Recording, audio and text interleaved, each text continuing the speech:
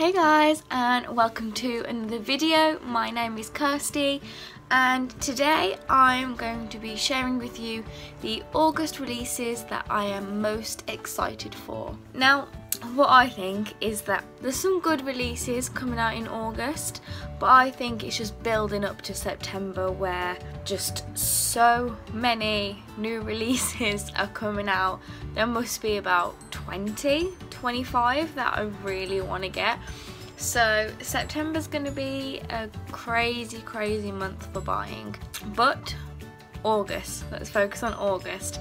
There's about 10, I think, that I'm really excited for. And of course, because I haven't read these books yet, I just like the look of them, I like the sound of them, so I don't know exactly what happens in these books. So the synopsis that I'm going to be giving you is literally just off the blurb. Yeah, because that's that's all I know about it, so I can only share the information with you that I myself know.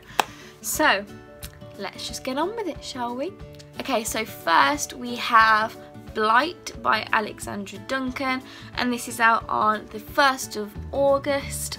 Blight is about 17 year old Tempest Torres who has lived on the Agristar farm um, which is north of Atlanta and she's lived there since she was found as a baby outside of the gates. Now at 17 years old she's working at the security force that guards the gates of Agristar and in the security force they are watching out for scavengers um, who are people who would rather steal genetically engineered food rather than work really hard for it, which is what everyone else has to do. And then there's a group of rebels and they accidentally set off an explosion in the research compound and this explosion releases into the air a blight which kills every living thing in its path, including humans. Now, Tempest has blight resistant seed and she teams up with a scavenger boy named Alder and runs to get help. But when they finally arrive at the Agristar headquarters, they discover that there is an even bigger plot behind the release of the Blight. And it's up to these two 17 year olds to stop it from happening again. So this book sounds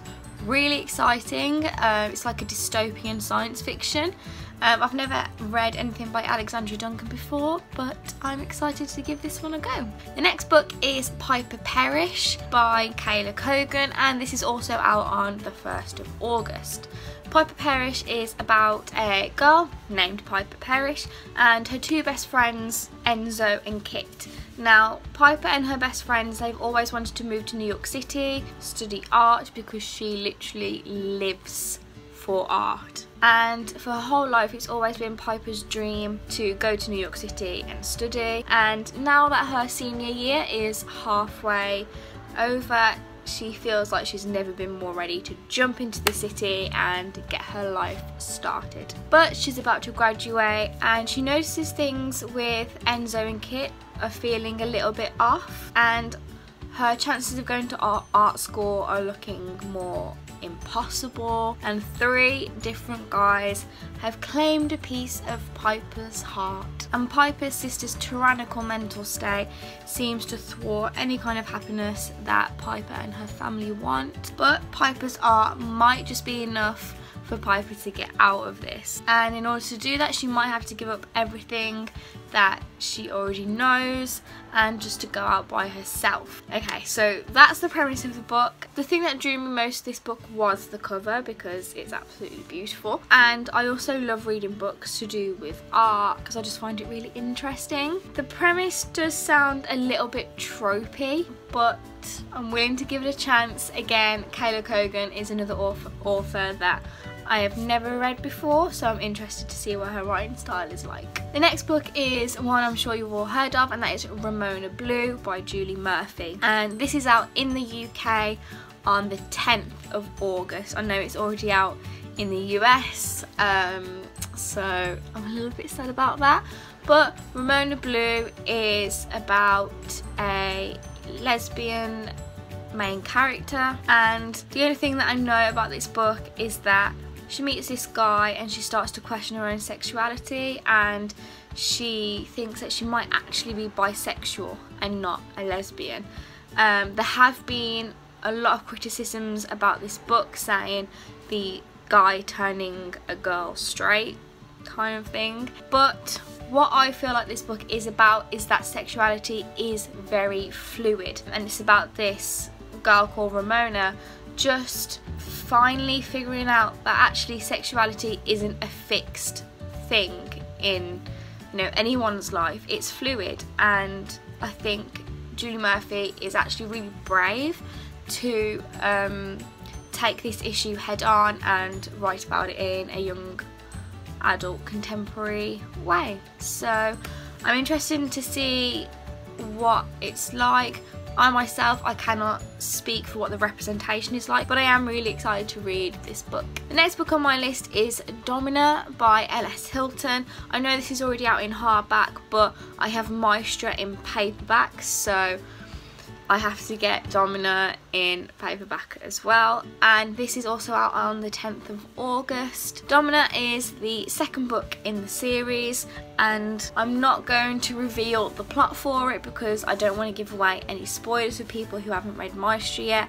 But it does follow on from the events of Maestra and I've heard that it is an action-packed read that will literally just keep you on the edge of your seat the entire time. I did like Maestra. I didn't find it great. Like I didn't I don't think that it's like one of the best reads of 2017 but I did enjoy reading it um, so I can't wait to read Domina and I can't wait to find out what happens to Judith Rashleigh. The next thing on my list is Paper Girls Volume 3 by Brian K. Vaughan. This is a graphic novel and it follows these young girls who do paper rounds but they get sucked into this magic world. Again, I can't talk about what happens in Volume 2 because I don't want to give away any spoilers but it does centre around these um, young girls who get sucked into this magical world but I can tell you that Paper Girls Volume 1 it centres around four 12 year olds who are newspaper delivery girls and it's set and it's um, it starts in Halloween in 1988 and these newspaper delivery girls they discover the most important story ever. And Paper Girls is sort of a suburban drama and it's got like otherworldly mysteries and I, I thought it was really good because it talks about coming of age and it's got drama, it's got action, it's got mysterious new worlds in it. So I am very excited to read volume 3 because I really really loved volumes 1 and 2.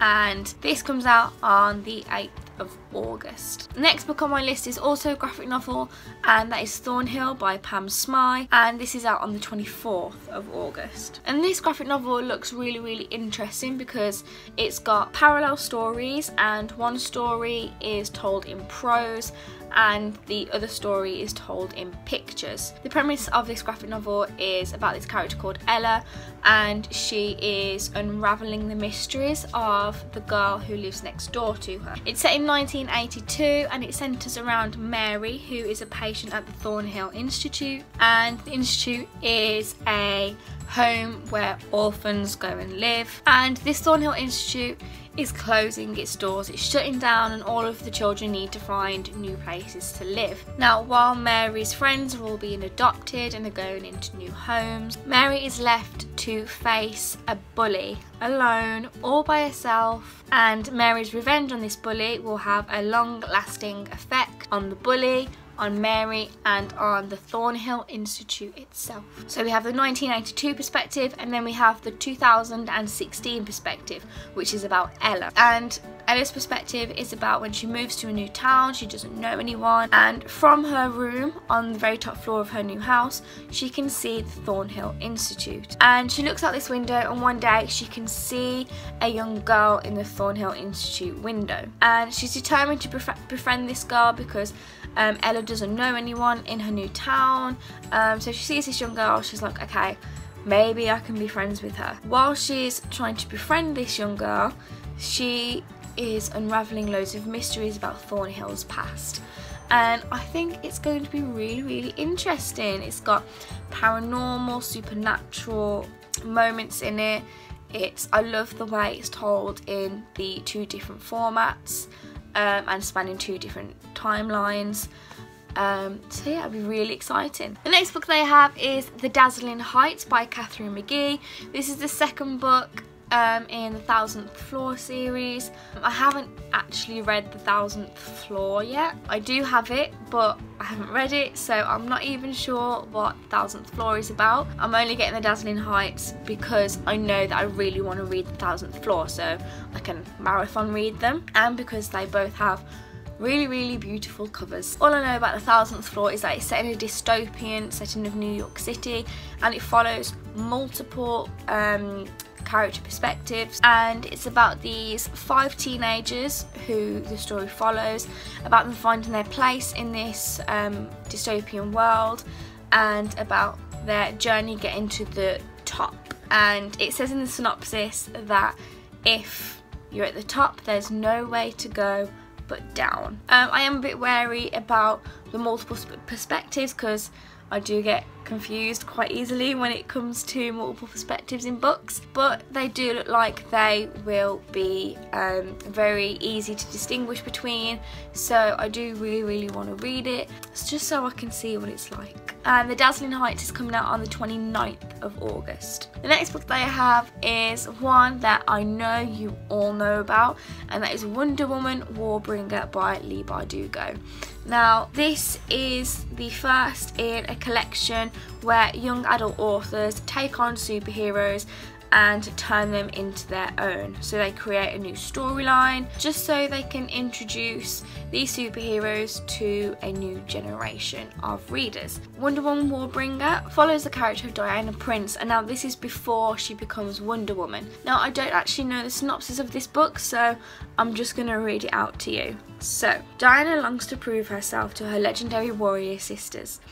But when the opportunity finally comes, she throws away her chance at glory and breaks Amazon law, risking exile to save a mere mortal. Even worse, Alia Keralis is no ordinary girl, and with this single brave act, Diana may have just doomed the world. Alia just wanted to escape her overprotective brother with a semester at sea.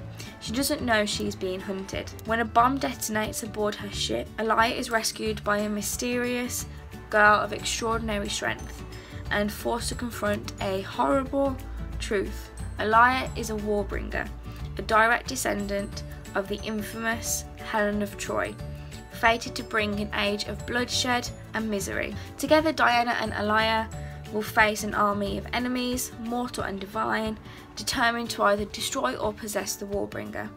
If they have any hope of saving both of their worlds, they will have to stand side by side against the tide of war. Now, I love Wonder Woman. I absolutely love it. I loved the comics. I went to see the film and I loved the film. I was just sat there in a mess, crying pretty much the entire way through. I cannot wait to read Leigh Bardugo's take on probably one of my favourite superheroes of all time. Um, in the UK, Wonder Woman Warbringer comes out on the 31st of August. And finally, the last book that I am excited for in August is A Gentleman's Guide to Vice and Virtues by Mackenzi Lee. And this comes out on the 10th of August. I think in the UK you can buy it on Book Depository now, but I'm taking it from um, a list on Amazon. So on Amazon you can't buy it till the 10th. Um, on Book Depository you can buy it now and I know it's already out in America so you can buy it there as well. So A Gentleman's Guide to Vice and Virtues follows a boy named Henry Montague and he's grown up in a wealthy family, he's been sent to boarding schools and he was always been brought up to be bred a gentleman, but he was never one to follow the rules. With the finest boarding schools in England and a strict father, it was never really enough to curb his passions for going off and trying to do his own thing, like going to gambling halls and having late nights with bottles of alcohol beside him, or even waking up in the arms of men and women that he doesn't even know. But as Monty um, embarks on his tour of Europe, his quest, I guess, um, for passion and vice is in danger of coming to an end. His father expects him to take over the family estate um, when Monty returns back from his grand tour of Europe, but Monty is also nursing an impossible crush on his best friend, Percy. Still, this is Monty we're talking about, so he doesn't like to give up.